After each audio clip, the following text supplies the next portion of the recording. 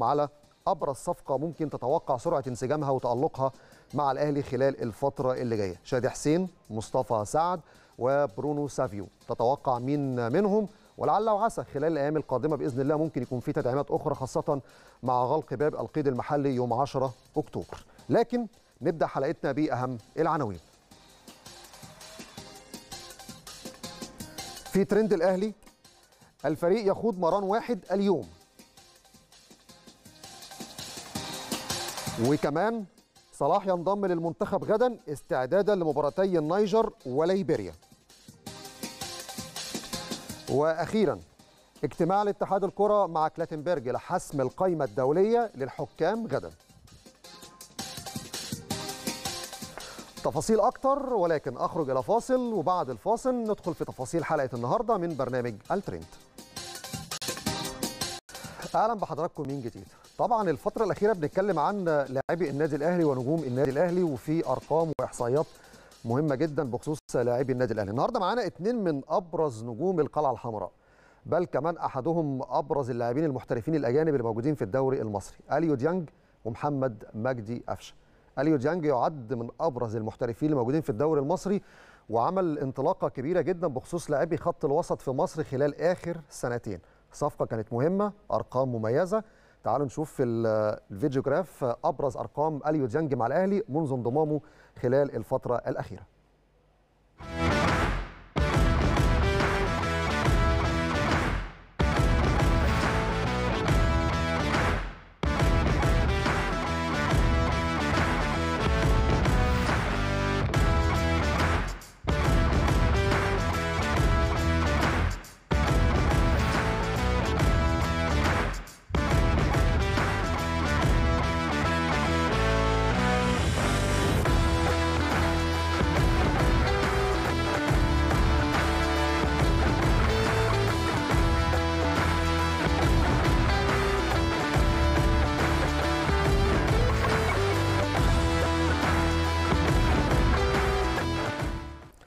أحد أبرز المحترفين في الدوري المصري خلال السنوات الأخيرة النجم المالي لاعب خط وسط الأهلي أليو ديانج. طيب محمد مجدي قفشة صاحب القضية في نهائي القرن. أول ما تقول محمد مجدي قفشة اللعبة المميزة والهدف التاريخي هدفه في الزمالك في نهائي القرن عام 2020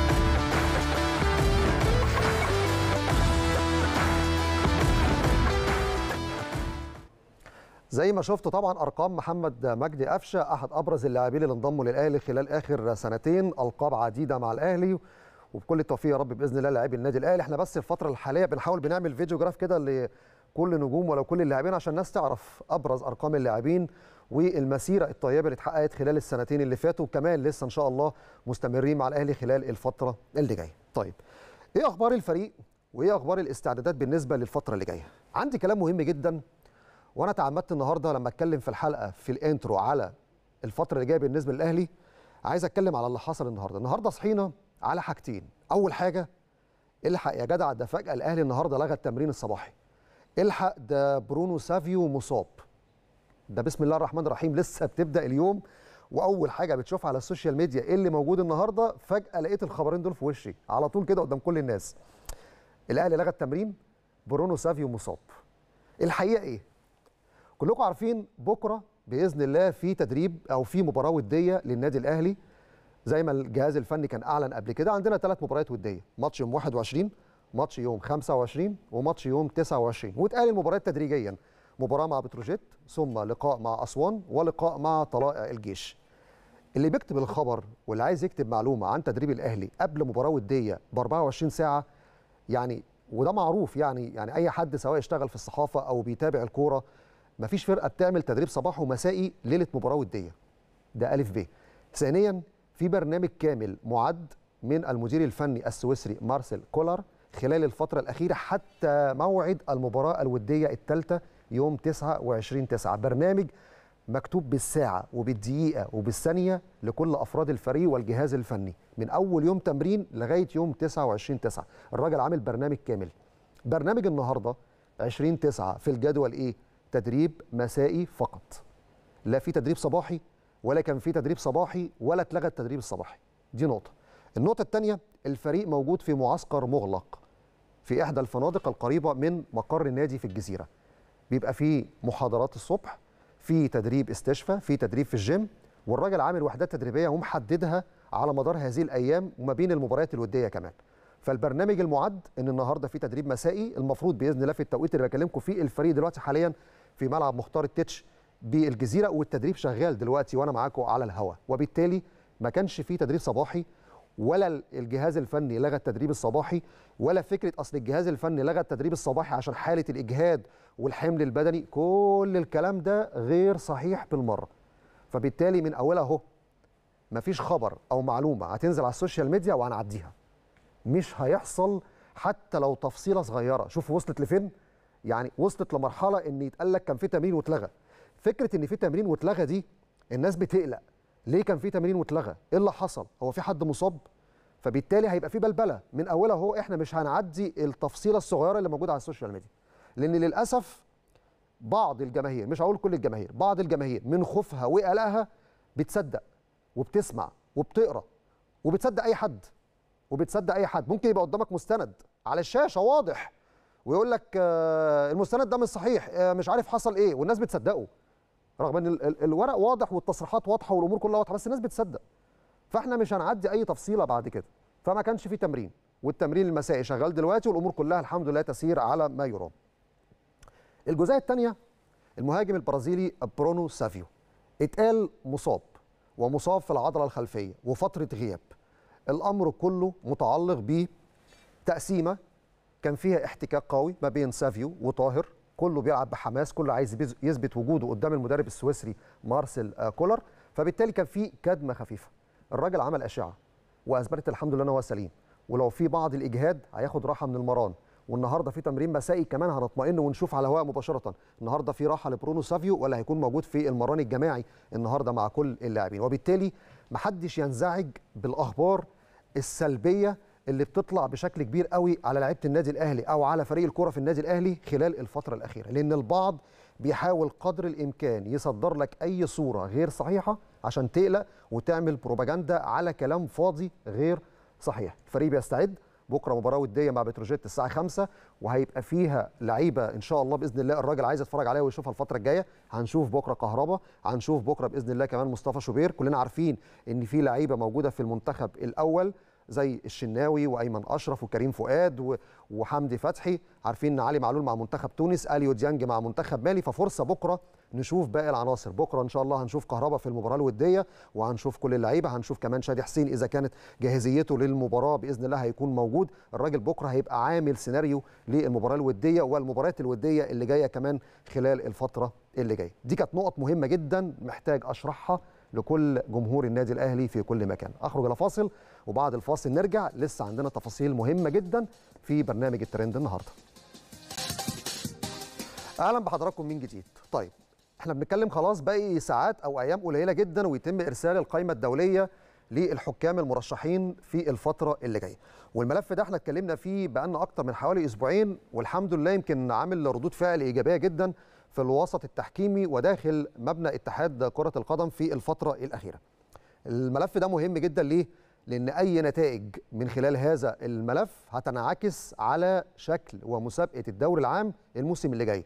قلت قبل كده المعيار بالنسبة لي مش ركلة جزاء ولا تسلل.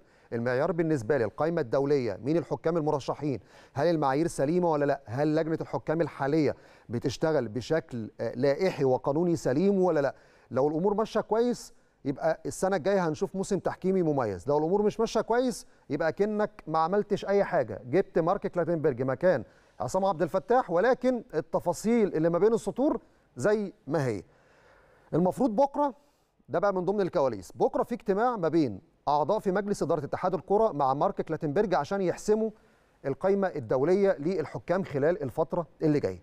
والطبيعي إن المفروض القائمه الدولية بيتم تحديد معاييرها من خلال كذا نقطة. اولا الكشف الطبي اختبار اللياقة البدنية والدرجات والتقييمات الفنية اللي تمت على مدار الموسم الماضي.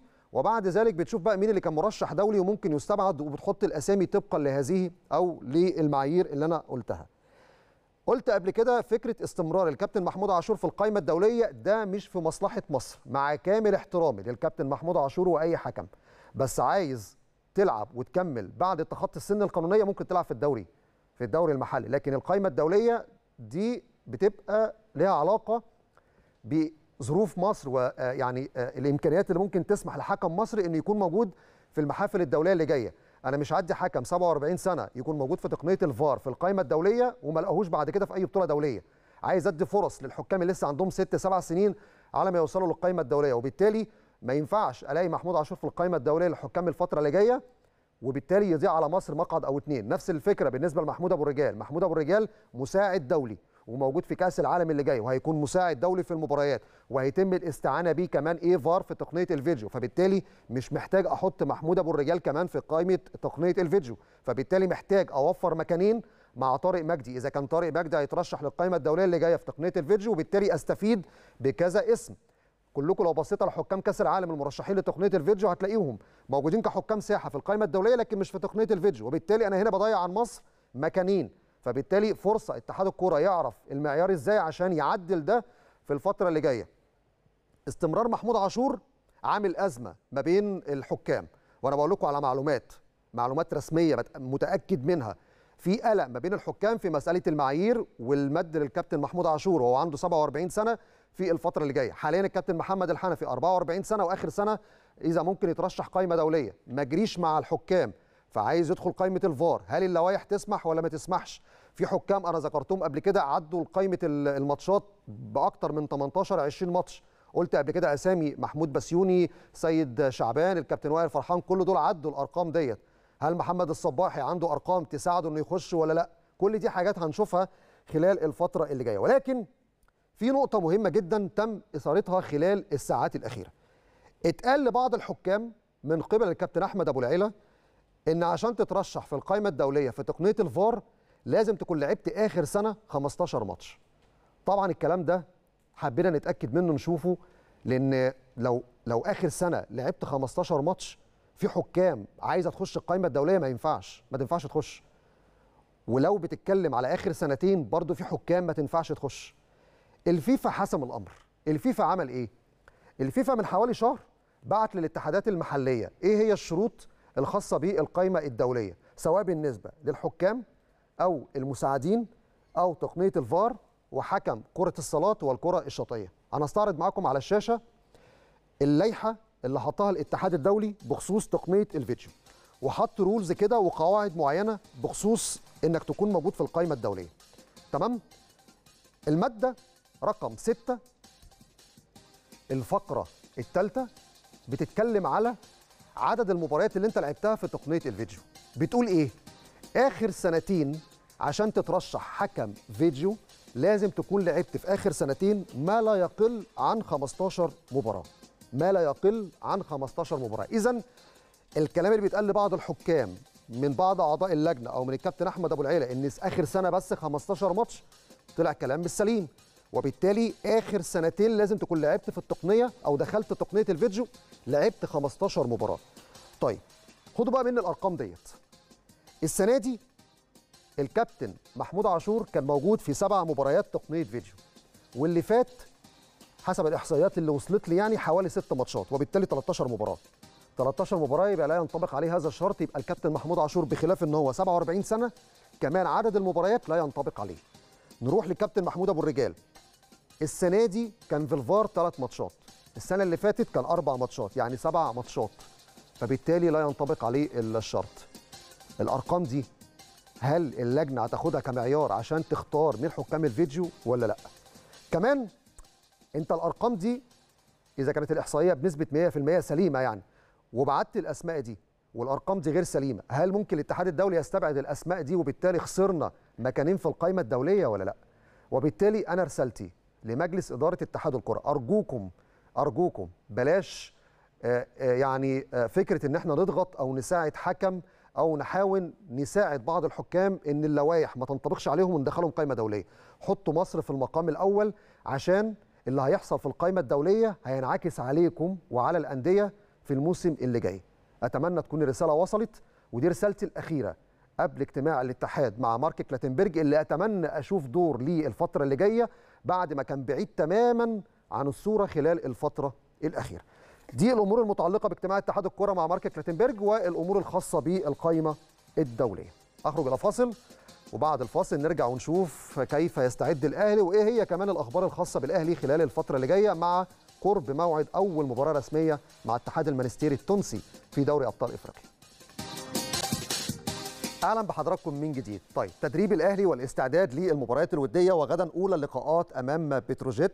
المباراة بإذن الله هتكون الساعة 4 على ملعب الأهلي والسلام. تفاصيل أكتر بخصوص هذه المباراة الودية وكمان التدريب حاليا اللي شغال في ملعب مختار التتش بالجزيرة. أذهب مباشرة إلى مقر النادي الأهلي بالجزيرة مع الزميل العزيز كريم أحمد موفد قناة الأهلي عشان نعرف منه كل الأخبار وكل الجديد وكمان نطمئن من خلاله على برونو سافيو وكل الأخبار اللي إحنا بالتأكيد محتاجين نعرفها منه. مساء الخير يا كريم. مساء الخير عليك زميلي العزيز محمد سعيد تحياتي ليك في البداية وكل التحية أيضا كمان لكل جمهورنا العظيم جمهور النادي الأهلي. طيب كذا ملف محتاجين نتكلم فيه. أول حاجة هتكلم معاك على برونو سافيو. اتكلمت أنا في بداية الحلقة وقلت للناس كل اللي بيتكتب على السوشيال ميديا غير صحيح لكن أنت موجود بقى في قلب الحدث وقدامك التدريب في ملعب التتش. أخبار برونو سافيو وإيه أخبار التدريب؟ بالتأكيد يا محمد طبعا يعني هي النقطة دي مهمة جدا في البداية لأن الكل اللي اجتهد الكل كتب من راجل عنده خلفية وناس اشتكت من ملعب مختار التتش وجودة الملعب. أمور عديدة الحقيقة كلها لغط كبير جدا لكن التصريحات الخاصة طبعا بناخدها من الجهاز الطبي. الدكتور أحمد أبو عبد رئيس الجهاز الطبي كالعادة برونو سافيو يمكن عمل فترة إعداد كاملة بالنسبة طبعا قبل ما يكون متواجد مع النادي الأهلي. لعب عدد كبير جدا من المباريات تصل إلى سبعة وثمان مباريات قبل ما يكون متواجد. فيمكن هو خد فترة إعداد كبيرة جدا الراجل خلاص الحمل البدني عنده اترفع خلاص وصل لل top form بالنسبة للإعداد البدني فمش ممكن إن أنت تقدر تيجي تاني تبدأ من أول وجديد معاه فترة إعداد بدني. فده كان أمر مهم جدا إن أنت تديله مزيد من الراحة عشان ما يبقاش في شكوى. لأن الراجل جاهز بشكل كبير جدا حتى الجانب الفني الراجل لعب سبع مباريات. فده أمر مهم جدا حابين يا محمد الحقيقة كنا نوضح. الراجل يمكن واخد يوم أو يومين إضافيين شوية مع بعض التدريبات الخفيفة لكن مش معنى إن هو مش متواجد أو ما ظهرش في ملعب مختار التتش. الناس على طول تتكلم وتقول إن الراجل عنده إصابة خلفية أو يمكن مش هيكون متواجد الفترة اللي جاية.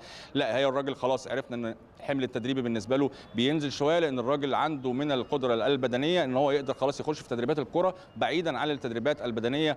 الحقيقة اليوم الصباحي واليوم المسائي أمر يمكن مجهد شوية على لعيبة النادي الأهلي لكن الحقيقة الكل بيجتهد الكل بيتدرب. النهارده يمكن مع البرنامج التدريب المعتاد عن فريق النادي الأهلي برنامج الفول دي النهارده كان مفيش تدريب صباحي.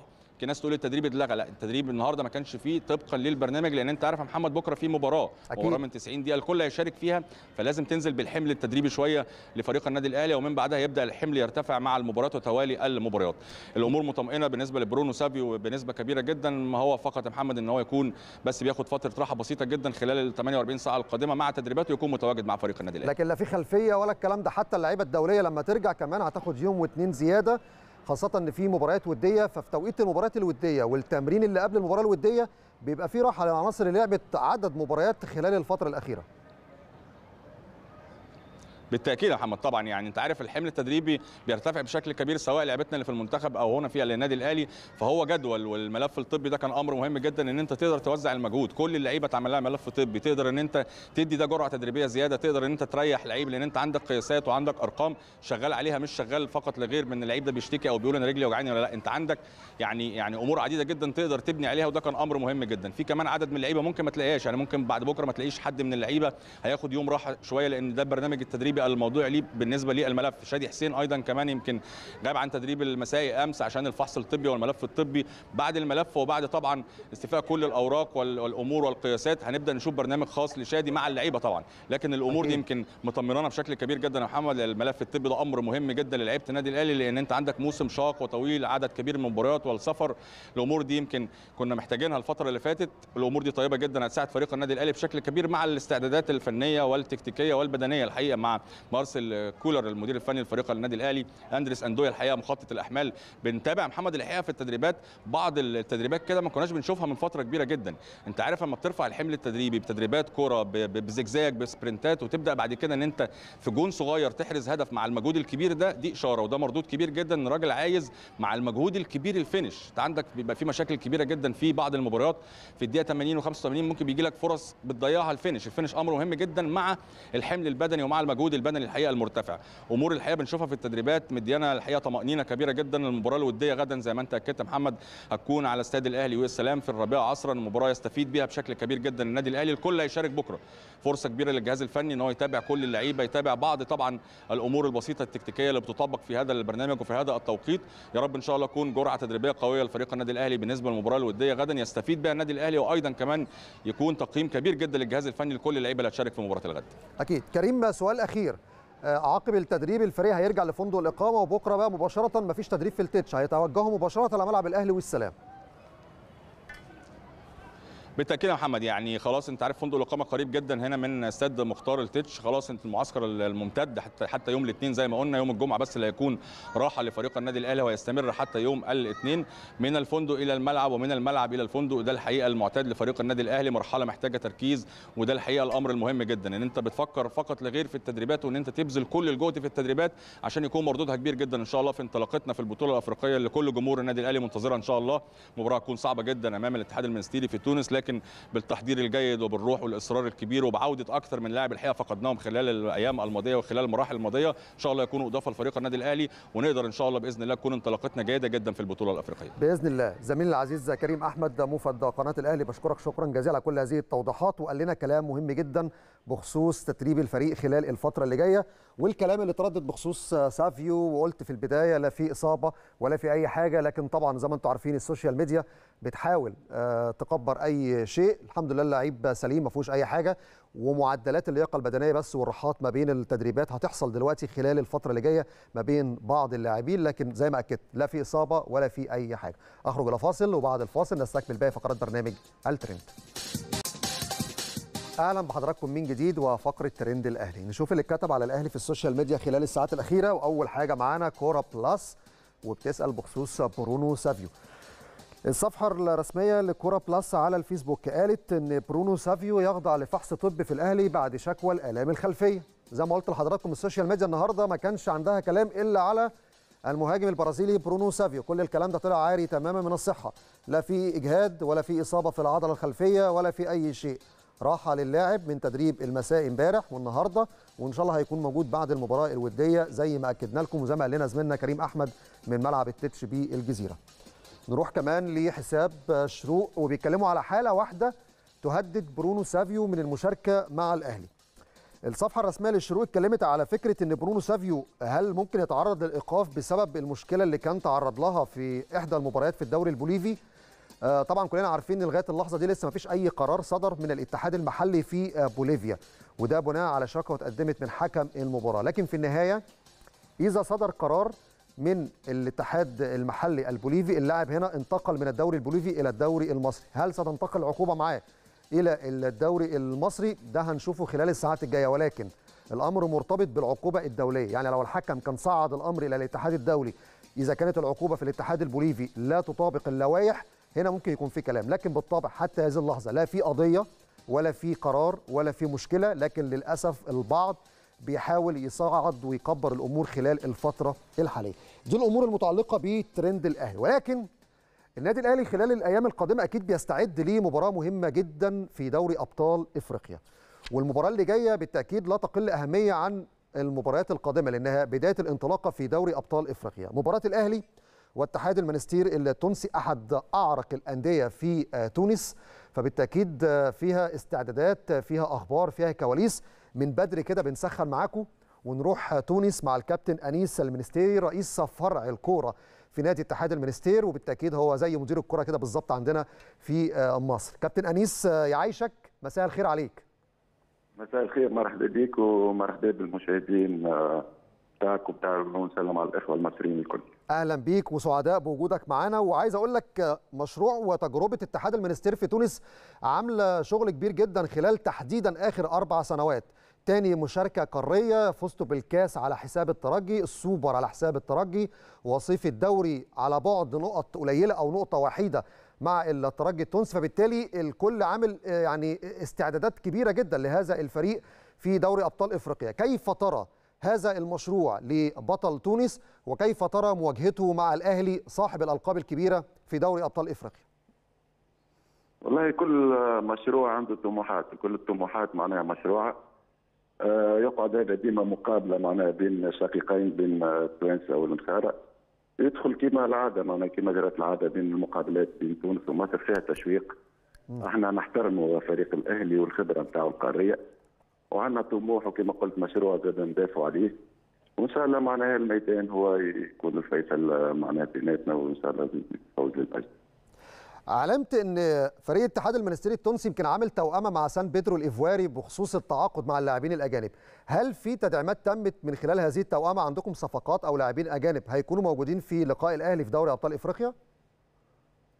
والله في في لاعب من نادي سان بيدرو هيكون متواجد إن شاء الله في المباراة. امم طيب بخصوص المباراة هل هتتلعب في توقيت الساعة 3 العصر ولا في اتجاه إنها تتلعب مساء تحت الأضواء الكاشفه؟ والله إحنا إن شاء الله في المدة هذه قاعدين إن شاء الله نحدوا مع الإخوة معناها في الأهلي.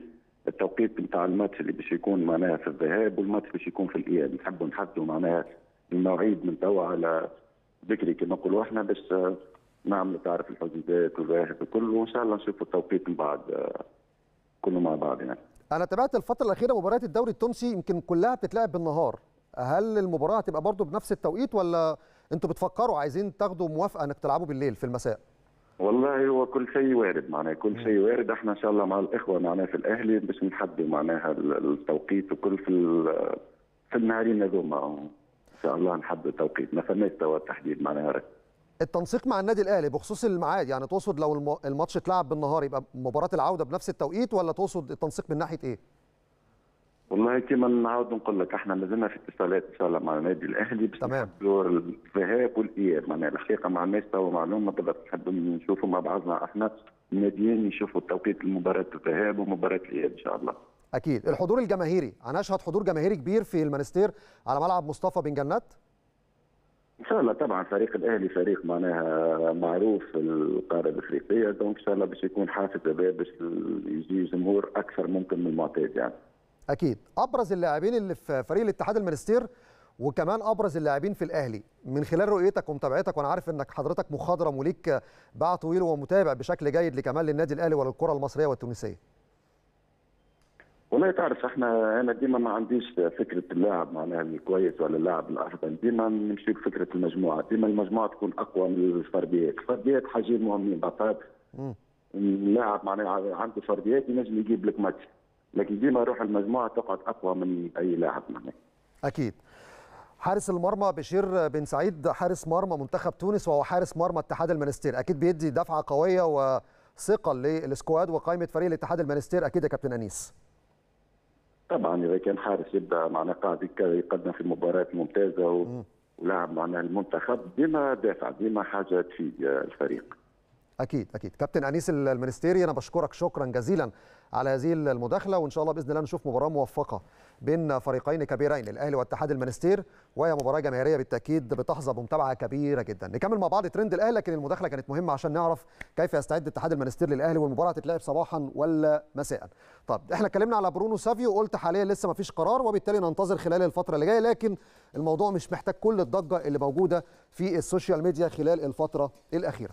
طب نروح لحساب في الجول وصحيفة ذا ساوث افريكان الجنوب إفريقية. قالت ان قيد بيرسي تاو في قائمة الاهلي الإفريقية تسبب في ضربة لكل من أورلاندو بايرتس وكايزر تشيفز بسبب اهتمام الناديين بضم اللاعب. آخر موعد للقيد في جنوب إفريقيا بعد غد يوم 22 9 وإذا بيرسي تاو حتى ما شاركش في الدور التمهيدي الثاني أي نادي في جنوب إفريقيا عايز يضم اللاعب في يناير هيبقى الأمر متاح لكن لو شارك مش هيبقى متاح. فبالتالي فكرة القيد في في حد ذاتها إن هي هتبقى ضربة لأي فريق عايز يضم لاعب هي مش بنسبة 100% بنسبة 50% لكن المشاركة في المباراة هي اللي بتقتل حلم أي نادي لو عايز يضم لاعب مقيد في قائمة فريق آخر إفريقية. حساب كورة 11 وتصريح لداركو نوفيتش المدرب الصربي اللي مسؤول عن أو المدير الفني لاتحاد المنستير التونسي. قال الأهلي سيبقى الأهلي حتى إذا كان في حالة غير جيدة. يظل هو أكبر أندية القارة وعلينا العمل بأقصى جهد من أجل الفوز عليه والصعود لدور المجموعات. كان مسؤول عن فريق وفاق سطيف السنة اللي فاتت لما لعب مع الأهلي في دوري أبطال إفريقيا وبالتأكيد بإذن الله يعني الأهلي يتخطاه زي ما تخطى وفاق سطيف في نصف نهائي دوري أبطال إفريقيا العام الماضي. يلا كورة وتصريحات للمدرب العام للاتحاد المنستيري التونسي. قال حتى الآن لم يتم تحديد موعد انطلاق مباراتنا أمام الأهلي لوجود مشكلة في الإنارة بملعب المنستير وإذا لم يكن متاحا اللعب ليلا تحت الأضواء الكاشفة سيقام اللقاء نهارا خدنا تصريحات من رئيس فرع الكورة كابتن أنيس وقال لنا كل التفاصيل الخاصة بإقامة المباراة وما زال هناك تنسيق ما بين الجانب الفريق الاتحاد المنستير والنادي الأهلي لتحديد الموعد خلال الفترة اللي جاية. اليوم السابع وآخر حاجة معاه في ترند الأهلي. جهاز الأهلي يراقب أداء لاعبيه الدوليين في المنتخبات خلال فترة الأجندة الدولية. أكيد هتكون في متابعة لعلي معلول مع منتخب تونس عنده مباراتين مهمين جدا مع جزر القمر ومع البرازيل وأيضا كمان متابعة لإليو جانج هيلعب مباراتين في الأجندة الدولية وبعد كده عودتهم وهيكون في برنامج بدني ليهم وزي ما قلت أي لعيب دولي الفترة الحالية أو لاعب مباريات أكتر من اللعيبة اللي موجودة في القائمة الأساسية معدل الراحة واللياقة البدنية والتدريبات هتختلف من لاعب لآخر. فأي لعيب مش هتشوفوه في تمرين مش معناه إن هو مصاب. دي نقطة مهمة بأكد عليها لكل السادة المشاهدين. أخرج إلى فاصل. وبعد الفاصل نرجع ونكمل باقي فقرات برنامج الترند.